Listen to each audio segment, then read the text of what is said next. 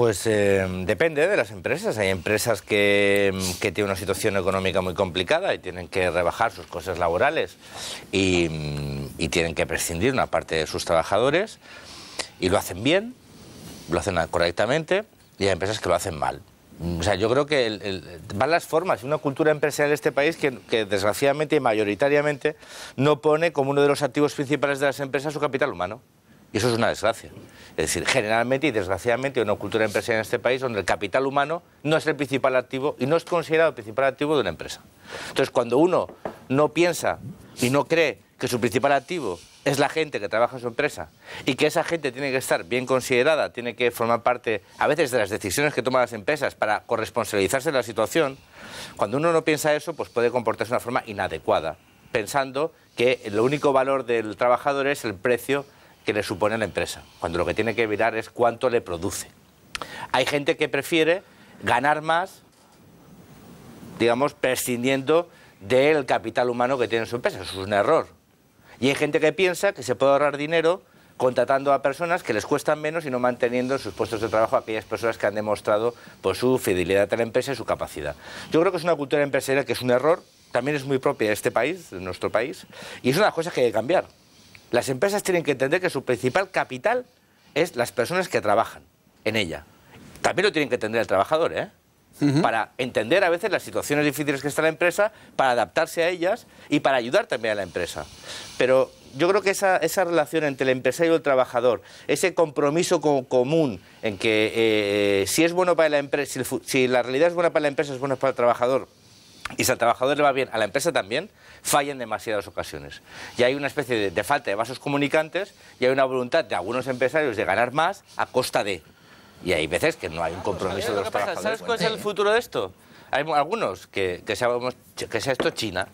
El, problema es ese, es decir, cuando tú estás compitiendo con mano de obra que, que trabaja por un bol de arroz, es que, y, es que los productos se mueven en, en, en, el globo sin que haya ese dumping social. ¿Dumping social qué es? Que hay gente que produce muy barato, pero que tiene unos costes laborales muy bajos y no tiene protección social. Entonces, como la, la globalización, los tratados estos de, de, de, movimiento de bienes y servicios y capitales por todo el mundo sin que haya aranceles, permiten que tú, para fabricar esto en China, te cueste 10 dólares. ¿Por qué? Porque hay gente que duerme, trabaja 18 horas o 16, cobra 10 euros al mes y vive fatal. Entonces, como aquí tenemos sociedades que intentan garantizar derechos laborales, eh, pensiones, desempleo, esto te cuesta producirlo 400, pues claro, mm, al final, ¿qué hacemos? Como China. Y por eso estáis montando el estado del bienestar, por eso esta devaluación interna es una devaluación social, no solo una devaluación salarial, es social, es social. Al, al final, detrás de todo esto hay un empobrecimiento brutal de la sociedad. Claro, eh, eso es difícil de resolver, pero mientras, no, mientras permitamos que haya países que compitan con nuestros productos con unos costes de mano de obra y unos costes sociales, bueno, tercermundistas, pues claro que es muy complicado. La, la, pregunta es, ¿a quién beneficia que tú puedas importar productos chinos eh, que se hacen con mano de obra prácticamente esclava? ¿A quién beneficia? Pero nosotros, la Europa, la Europa del estado de bienestar, ¿quién nos creemos que somos para obligar al resto del mundo a tener la misma no, perdona, protección social no, no, que perdona. nosotros? ¿Cómo que Perdona, nos creemos? si ellos Hay no quieren tener seguridad obligación- social, Oye, perdona, hay una obligación. Hay una que en China obligación. haya seguridad social Perdona, pública. ¿Por qué? Es, es muy sencillo. ¿Por qué? Se llama aranceles. Bueno, Se llama aranceles, pero cuando tú tienes 500 millones de habitantes, como tiene Europa, ¿eh? Tiene que velar, por supuesto, porque a mí realmente que el capital se concentre en, en los, en los cuatro grandes empresarios de Mercedes, de Siemens y no sé qué, que exportan a, China, para que estos exporten tenemos que empobrecernos todos los ciudadanos europeos y pauperizarnos y que la competitividad de un país se gane gracias a la evaluación salarial. ¿Quién va a comprar los productos? Sí, claro, a mí me hace mucha gracia. No, no. Claro que puedes encontrar gente que trabaje por mil euros y por 600. Claro. Lógico, la pregunta es: ¿a quién le vas a vender tú los coches después? ¿A quién le vas a vender las teles? ¿A quién le vas a vender las casas? Pero ¿Quién es que te va a comprar? La realidad es que el mundo está globalizado y que nosotros somos el continente más caro. La, ¿Pero en gas- la gasolina aquí vale un euro cincuenta por culpa Claro. de los impuestos. El siguiente sitio donde está la No, los gasolina vale impuestos- un euro. Perdona, los que es en impuestos Estados que te Unidos. sirven, no, los impuestos que sirven para 50 cuando tú vayas a sobrecoste no, los impuestos que respecto sirven al resto de que- países. Los impuestos que sirven para que que mis padres tengan una pensión, los impuestos que sirven para que tú puedas ir al médico y sea gratuito, los impuestos que sirven para que haya una educación eh, obligatoria hasta los 16 años, los impuestos que hacen de esta sociedad una sociedad decente, aunque nos gustaría que fuera más, a pesar de todo. Porque si no, ¿a quién beneficia? ¿A quién beneficia que tú puedas... Bueno, no benefician a los chinos, por, por decir algo, ¿eh? Porque la combinación de capital que está produciendo en China está en torno a un número minoritario de gente, la mayoría de gente sigue explotada. O sea, esta de la globalización no está beneficiada de un desarrollo sostenido de los países, digamos, menos desfavorecidos o más desfavorecidos hasta ahora. Lo que está favoreciendo es una acumulación de capital en detrimento de una mayoría de los Los oyentes muchas veces nos centran en el debate. El señor que ha llamado diciendo que hay una gran diferencia entre las pequeñas y medianas empresas y las grandes empresas.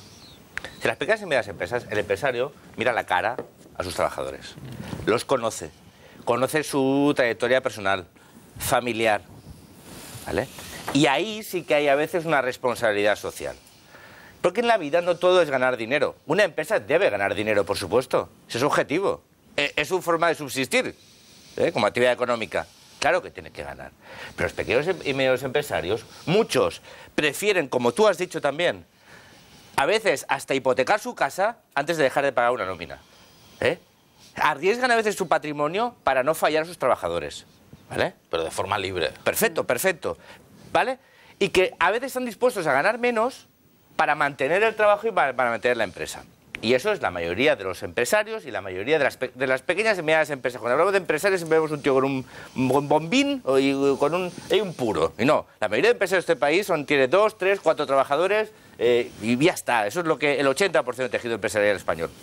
Ah, a mí no vale de Nestlé, no vale de estas empresas. Porque ahí son números. Y se juntan señores como nosotros en una mesa y dicen, este año los beneficios cómo van. Ah, pues hemos bajado un 1%. Pues quiero ganar lo mismo. Ah, pues habrá que despedir, despidas, ¿eh? No es verdad. Y no les tiembla el pulso, anda que no. Vamos, y si se tiene que hacer una planta productiva como ha pasado en España, ¿cuántas plantas productivas han cerrado en España de multinacionales? Satira. Perdona, perdona, perdona. Multinacionales que tenían fábricas que daban beneficios. ¿eh? No fábricas que daban pérdidas que daban beneficios y les han deslocalizado para llevarse a Polonia, para llevarse a Marruecos, para llevarse a China. Entonces, responsabilidad social de estas empresas y como muy bien decía Gemma, empresas que muchas de las cuales han recibido suelo público a bajo precio cuando no regalado, que han recibido subvenciones por implantarse y que cuando se van, ahí te dejan 300, 400 personas que trabajaban bien, que tienen experiencia, compromiso con su empresa, algunas de las cuales bajaron, estaban dispuestas y se, y se bajaron los sueldos para garantizar la permanencia de, esa empresa. Y cuando después de exprimirlos, alguien decidió que no, que aun ganando dinero, aun habiendo hecho sacrificios los trabajadores, eran prescindibles. Y mira, para mí, yo defiendo el, libre mercado, defiendo la necesidad del beneficio, pero las personas no son mercancías, las personas no son una materia prima son una parte fundamental de una empresa. Y evidentemente, cuando las cosas van bien, los trabajadores tienen que ser conscientes de la situación. Cuando te, se te, caen los pedidos o te caen eh, eh, la facturación el 50%, claro que hay que apretarse el cinturón. Pero también eso significa, para tener ese compromiso del trabajador con la empresa, el empresario debe tenerlo con el trabajador y hacerle participar de los momentos que las cosas van bien. Y eso al final se llama eficiencia de una empresa. Porque una empresa son sus trabajadores. ¿Los trabajadores por qué trabajan? Por dinero, ¿no? Claro. Vale, ¿y ese dinero de dónde sale? De una cosa que se llama cuenta corriente. Y la cuenta corriente pues que es un número. Sí, Entonces, un beneficio. vuestros planteamientos Oye, la competitividad, perdona, la, competitividad de una empresa, perdona, la competitividad de una empresa, el valor social la competitividad de, una empresa se fundamenta exclusivamente, exclusivamente en el coste laboral. ¿O es una de tantas? ¿Cuántos empresarios no son capaces de innovar y apostar? ¿Cuántos empresarios no son capaces de buscar nuevos mercados? ¿Cuántos empresarios, que también es obligación, porque tienen un compromiso y de verdad ¿Pero qué pasa? Que tú consideras que porque una fábrica ha estado 20 años en España y se puede quedar aquí ganando un millón de euros al año y la misma fábrica con la misma inversión puede estar en Polonia ganando 1,5 millones de euros al año, tiene aquí más allá del compromiso legal que firmas en su día, un compromiso cuando después me dicen, cuando después me hacen un anuncio por la tele diciendo, solo nos importas tú, tururú. Cuando estas mismas empresas después tienen unos valores que son universales, pero resulta que la Santa Inquisición ya no existe y los juicios oye, perdona, no juzgan una empresa, moralidad, cuando una, cuando, una empresa, la moralidad no es juzgable oye, perdona, este cuando una empresa, oye, no sé si es juzgable, pero sí que podemos tener juicio al respecto. Pero cuando una empresa va dando eh, con unos principios universales y cose sus pelotas en Pakistán con niños, eso es repugnante. ¿Vale? Pues no compres Es repugnante. Bueno, pues tenemos que saberlo Tenemos que saberlo. Y cuando una empresa decide deslocalizarse para ganar un 0,5% más, un 1% más o un 10% más, dejando en la cuneta a 400 familias, pues evidentemente a lo mejor si tuviese una, una pena social no pasaría. Pues a lo mejor porque hay una cosa que es la responsabilidad social de las empresas, pero para que todo esto se mantenga, eh, para que puedan seguir vendiendo, para que puedan seguir teniendo beneficios, para que alguien compre los productos, tiene que haber sociedades que los, los ciudadanos tengan tengan algo con qué gastarse y no solo de sobrevivir. ¿Y qué quieres? ¿Que sociedades donde la gente sobreviva?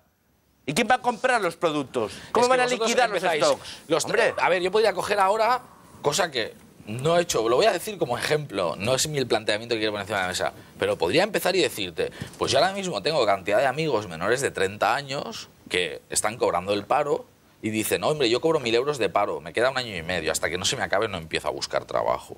De verdad, tuve esta conversación este fin de semana con una persona pues eso me parece fatal. Pero pues eso también igual que tú generalizas lo fatal que son algunos sí, generalizado. Esto también se está dando, ¿eh, Cañas? Los empresarios Cañas, esto se está dando, ¿eh? pero yo no esto se está dando. Yo voy a generalizar y decir, Oye, este es un país de vagos que están en el paro porque Oye, perdona, generalizado los jefes somos súper buenos, es que, es que son vagos. Simón, yo no he generalizado, yo te he dicho que hay empresas, si tú las conoces, tienen nombres y apellidos, que con fábricas que daban beneficios en España, con una productividad elevada y competitivas, han decidido deslocalizarlas para ganar un 10% más. Oye, eso sinceramente, eh, llega un momento que... Eso es una decisión económica racional. Tengo que coger llamadas, tengo que coger llamadas. Económicamente racional, socialmente Tengo que coger llamadas, señor.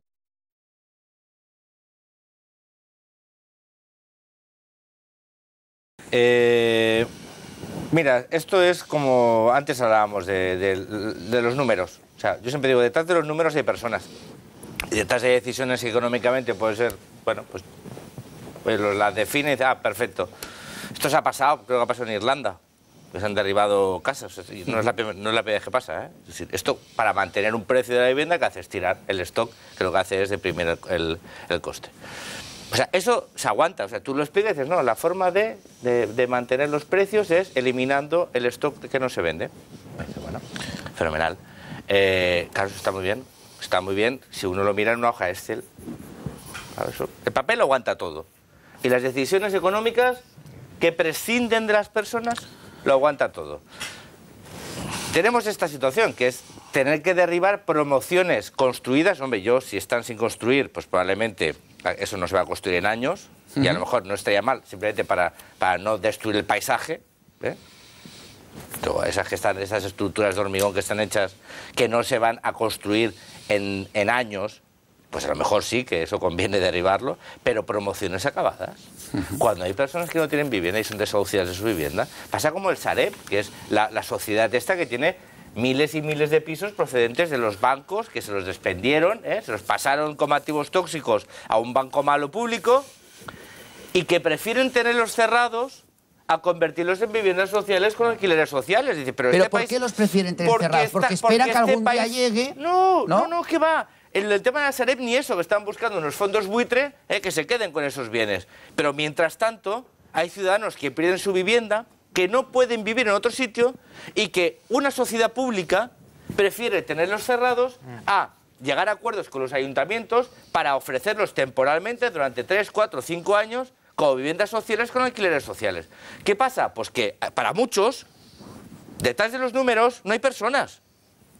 Y cuando uno tiene un país donde hay tantas personas que no tienen acceso a la vivienda, antes de derribar una sola vivienda, eso hay que bajarlo no un 10, un 30 Pero, o un 50%. Cosa, es que fijaros un momento. ¿Te parece bien esta medida? A mí la medida me parece fatal y por suerte en eso voy a estar de acuerdo con todos, creo, hoy, paradójicamente y extrañamente, pero eso demuestra la inconsistencia de vuestros planteamientos. Y os voy a decir por qué.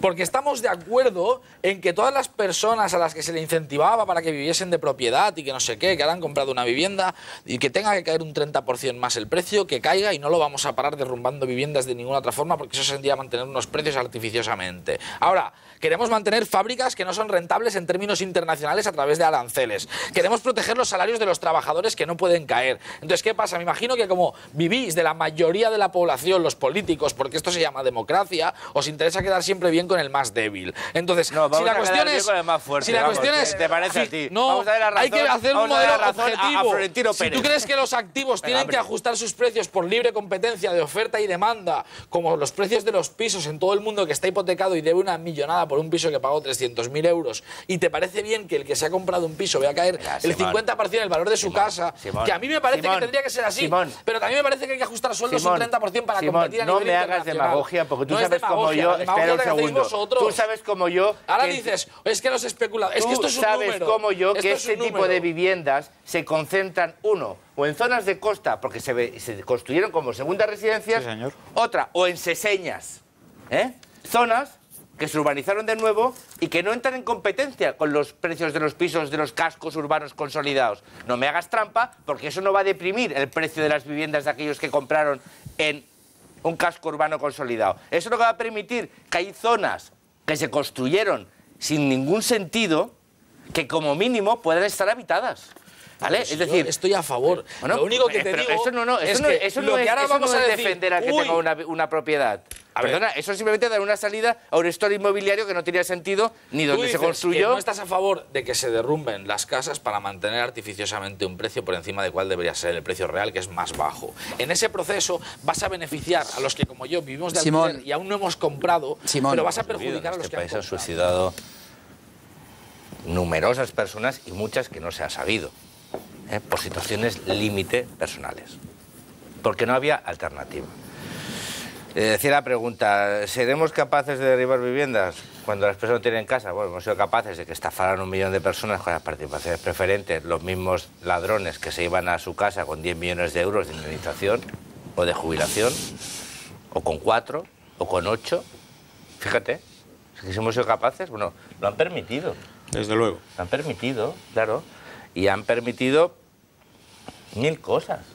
La pregunta es, ¿hay una alternativa a esto? Mira, estaba leyendo, mira, ahí abajo. Los expertos sugieren que expertos. ¿Dónde están estos expertos? ¿Los expertos de qué? ¿De demoliciones? son los, expertos, los, expertos en el uso de explosivos. ¿Qué, qué expertos? ¿Y dónde estaban estos expertos cuando estaban construyendo estos bloques fantasmas en medio de secarrales? ¿Dónde estaban los listos estos? ¿Dónde estaban los listos? Porque estos listos que ahora dicen, no, hay que emular a Irlanda y Estados Unidos. Ya, claro, que emular a Irlanda. Yo no sé en Irlanda lo que pasa en Estados Unidos, no es que no me preocupe, pero es que me preocupa lo que pasa en mi país, que es España. Entonces, cuando hay gente que la desahucian de su vivienda porque no puede pagarla, cuando esas familias con niños viene la policía enviado por el juzgado a sacarlos entre llantos de los hijos y absoluta desolación de la familia. Y resulta que hay una sociedad pública ¿eh? que ha rescatado unos activos inmobiliarios con el dinero de todos los españoles, que tiene la desvergüenza de tener centenares o miles de bloques cerrados en España, cuando perfectamente podían ponerse al servicio de los ayuntamientos, establecer un parque de vivienda pública mientras se recupera el precio de la vivienda, darle un sentido a ese activo, socializar, ¿eh? socializar en beneficio de la ciudadanía, no socializar las pérdidas, socializar en este caso los pufos que nos hemos quedado de los bancos, pero darle un uso social. Ponerlas en alquiler social para que las familias con ciento, pagando 150, 180, 200 euros pudieran vivir. ¿Por qué no se hace? Pues porque resulta que alguien cuando pasa con este país dice, está lloviendo. Claro que está lloviendo, pero quien está en la intemperie, sufriendo esa lluvia, es los ciudadanos. Entonces, cuando alguien diseña la, diseña la Sareb, ¿eh? la sociedad esta de activos inmobiliarios, y no plantea que puede tener un uso social, mientras Mientras los bloques están cerrados, pero por el amor de Dios, si están acabados y están cerrados, ¿qué ha dicho el tribunal respecto a lo de Sal? Oiga, ustedes, solo les falta decir, pues son ustedes idiotas. Eh. O sea, ¿tienen ustedes, van a echar a gente a la calle que no tiene dónde ir cuando tienen eh, un parque, unos, edificios públicos cerrados. Pues ahí ¿Pero qué les pasa, hombre? Nuevamente qué les pasa? Porque no son sensibles. Y unos políticos que pierden la sensibilidad básica y que no son capaces de dar soluciones, no únicamente a los bancos, que yo digo, que también, pero también a los ciudadanos. Y cuando se socializan las pérdidas de los bancos, se tienen que socializar los beneficios. Y estos beneficios pueden ser ahora mismo disponer de un parque público de vivienda social, de alquiler, para aquellos que no tienen dónde ir. Eso no es difícil. Pero los, tiene que ser voluntad política. Los políticos para legislar y evidentemente están los jueces para, ejecutar. Al final, eh, ¿cómo te diría? A ver, hoy en día se está dando lo siguiente y es que cada vez más casos de desahucio se están parando por la vía judicial.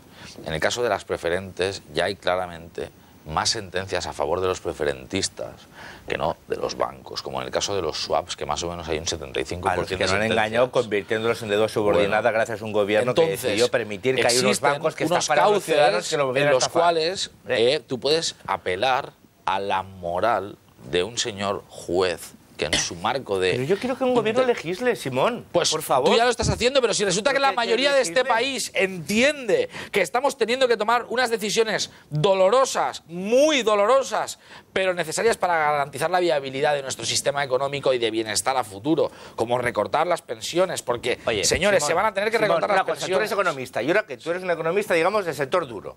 ¿eh? Sector duro en el sentido que eres muy, muy pragmático, si quieres, y analizas el contexto, tú determinas bien. Yo te pregunto a ti, ¿me puedes decir cuál es el beneficio eh, económico para que la Sareb tenga edificios cerrados? O sea, realmente, ¿cuál es el beneficio económico de eso? Es decir, eh, eh, ¿cuál es el plus que no entendemos los comunes mortales? O sea, una sociedad pública que se queda con unos activos tóxicos para, para quitarlos de los balances de los bancos, para que estos puedan sobrevivir, ¿vale? Y decimos, venga, lo aceptamos socialmente. No es incorrecto, bla, bla, pero oye, no hay más remedio. Pues aceptando esto, ¿eh? yo te digo, ¿qué problema hay para que esta sociedad ponga esos bienes al servicio de la ciudadanía cobrando un alquiler social? No te estoy diciendo gratis, ¿eh? Cobrando un alquiler social durante dos, tres, cinco años, ¿qué problema hay? ¿Qué problema hay, Simón? Yo no veo ningún problema. Ya te he dicho pues que yo no estoy a favor de que se tiren las viviendas.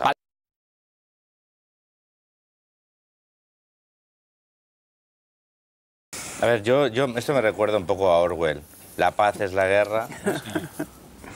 Yo, o sea, atención, ¿eh? Cuando alguien tiene que llamar al repago, modificación de la participación de los usuarios en la prestación farmacéutica, o sea, los conceptos no ocultan el fin. Yo siempre he dicho, a mí no me, a mí no me importa pagar más por los medicamentos. A mí. Siempre y cuando para mis sean gratis. Si yo, una persona jubilada que cobra X euros al mes insuficiente, yo no quiero que paguen ni un euro. Ni uno. Ni uno. ¿Hizo eso el gobierno? No, no lo hizo así. No lo hizo así. Es decir, les repito, a mí no me importa contribuir más. Y yo creo la justicia social en boca de esta gente. Otra vez, la guerra es la paz. Es una burla. O sea, hablar de justicia social cuando uno le está cobrando más los medicamentos, cuando ha sacado medicamentos de la cartera de servicios, cuando enfermos crónicos, diabéticos, oncológicos, eh, están pagando por medicamentos lo que no pueden, ¿Pero por qué hice una medida feliz? a ver, una Porque también, pues mira, no sé, pues como, mira, no, porque no voy a hacer una broma fácil. no voy a hacer una broma fácil. Yo puedo entender, como decía en las privatizaciones, que haya intereses de amiguismo, de le paso la empresa a mi cuñado, tal. Pero realmente un político que tiene que alterar el reparto en el pago de los Oye, ¿qué medicamentos... Dijo antes? Déjame, déjame acabar, ¿Qué dijo por favor. Antes? ¿Dijo antes cuando estaba en la oposición? Ya, pero es que me da igual el partido que sea. Hablamos de una cosa que es que con un paro del 20 largos por cien, eh, con un envejecimiento de la población como tenemos, con una tasa de dependencia como la que tenemos, es evidente que en, el, en la España de hoy, que dista mucho de la España de los últimos 20 años, hay un pequeño quebranto financiero en la seguridad social porque las, no, dejarme acabar, por favor. ¿Pero qué tiene que ver la seguridad social con esto?